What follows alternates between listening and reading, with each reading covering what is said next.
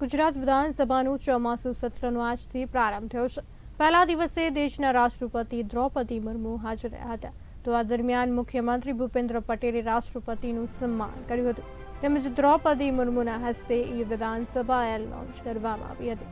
જોકે વિધાનસભા સત્રના પહેલા દિવસે જ વિવાદ થયો હતો અને અમિત ચાવડા, શૈલેષ પરમાર મુખ્યમંત્રી અને મંત્રીઓના સન્માન કરવાની ના પાડી દીધી હતી. તેમજ કોંગ્રેસના ધારાસભ્યો અને નેતાઓએ પોસ્ટર સાથે બંધ કરો, ભાઈ બંધ કરો, લોકશાહીની હત્યા બંધ કરોના સૂત્રોચ્ચાર કર્યા હતા.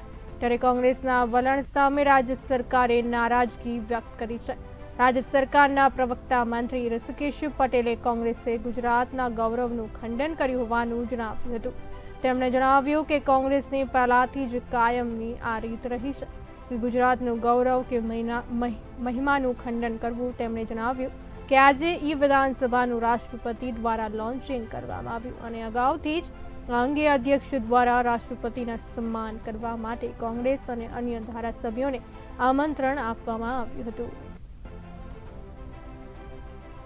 ગુજરાતની વિધાનસભા માટે ખૂબ ગૌરવમય આજનો દિવસ હતો, આદરણીય મહામહિમ. રાષ્ટ્રપતિ દ્રૌપદી મુર્મુજી ઈ વિધાનસભાની શરૂઆત કરવા ગુજરાતમાં આવ્યા હોય અને વિધાનસભામાં હાજરી આપી, ઈ વિધાનસભા એપ્લિકેશનનું લોન્ચિંગ પણ એમને જ્યારે કર્યું હોય, અને એ લોન્ચિંગ વખતે કામકાજ સલાહકાર સમિતિની મિટિંગમાં તેમજ અધ્યક્ષ સાહેબની ઓફિસમાંથી પણ એમને સૂચના પણ આપવામાં આવી હતી કે આ ગરિમામય ઉપસ્થિતિમાં આપ સૌએ સ્વાગત કરવાનું છે, સન્માન કરવાનું છે. પરંતુ કોંગ્રેસ કી રીત સદા ચલી આવી ગુજરાતનું મહિમા થતો હોય, તો મહિમા ખંડન કરવા માટેની પ્રવૃત્તિ ભૂતકાળથી ચાલી રહી છે ને એક વખત ફરીથી એનું આજે પુનરાવર્તન કર્યું છે.